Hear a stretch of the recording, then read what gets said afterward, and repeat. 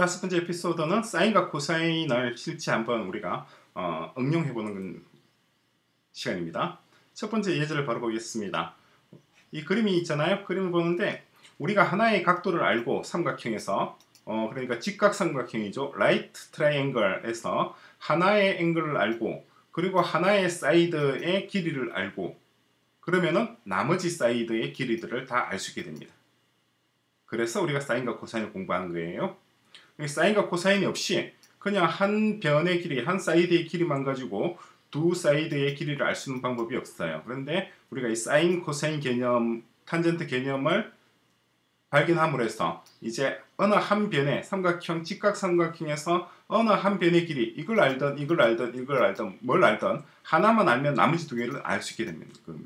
그래서 사인과 코사인이 이제 굉장한 효용, 실제 우리 생활에서 대단히 가치 있는 어, 기술, 방법이 된 거죠. 그 지금 같은 경우 이제 보니까 연을 날리고 있습니다. 베티가 보니까 어, 끈의 길이가 322피트였단 말이에요. 끈을 끝까지 푸는 거예요. 그러니까 끝까지 푼 게 322피트인데 어, 여기 베티가 보니까 각도가 38도더라. angle of elevation이 38도더라. 그러면 이 연의 높이는 얼마인가 하는 거죠. 그죠? 사인 값으로 우리 풀 수 있겠죠. 사인 값으로 해서 사인 38 이걸 322분의 x 하거나 아니면 코사인 값으로 할 수도 있죠. 이게 38도란 말은 이게 직각이니까 이건 몇 도가 되죠? 그렇죠? 52도가 되잖아요. 그죠? 그러면 코사인 52도로 해서 322분의 x는 코사인 52 이렇게 구할 수도 있는 거죠. 두 가지 방식으로 구해서 x 값을 알 수가 있고 그리고 우리 x 값을 아니까 이번에는 또 탄젠트로 해서 탄젠트 38도는 bg분의 x잖아요. 그죠? 근데 x 값을 알게 되, 알고 있으니까 이 bg 길이도 알 수가 있게 되는 거죠.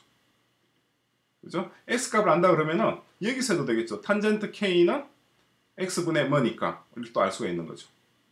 따라서 어느 하나의 한 변의 길이와 그 변에 연결되어 있는 하나의 각도 뭐 여기에 연결되어 있던 여기 연결되어 있던 뭐 아무것도 상관이 없죠. 하나의 각도를 안다고 하면은 나머지 두 side의 길이도 우리가 알 수 있게 되는 겁니다. 그죠? 그렇게 해서 첫 번째 연습 문제고 두 번째 연습 문제도 볼까요? 이번에는 이게 3.5m이란 말이죠. BC line segment BC가 3.5m, 3.5m이고 어, 이게 65도 전봇대와 지면까지의 각도가 65도이다. x는 얼마인가?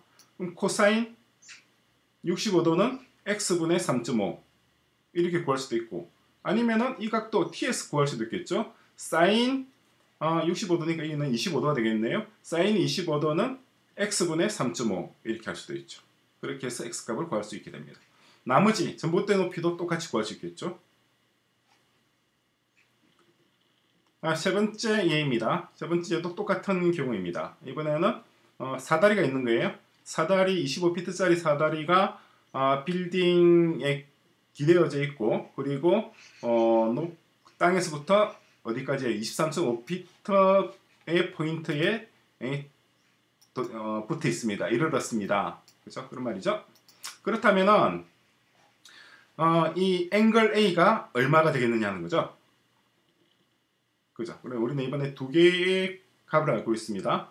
사이드 요 녀석 hyper hypotenuse 길이가 25피트 그리고 높이 그래서 높이가 h가 23.5 그럼 이것은 angle은 sin x는 25분의 23 되겠죠.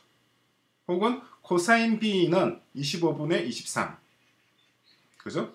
코사인 b인 경우에도 25분의 23.5가 되고 사인 a인 경우에도 25분의 23.5가 되는 거죠. 그죠? 둘다 같게 됩니다.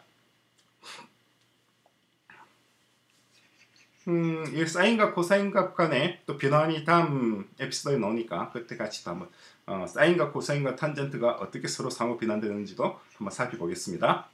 자, 엑서사이즈입니다. 열심히 풀어보시기 바랍니다.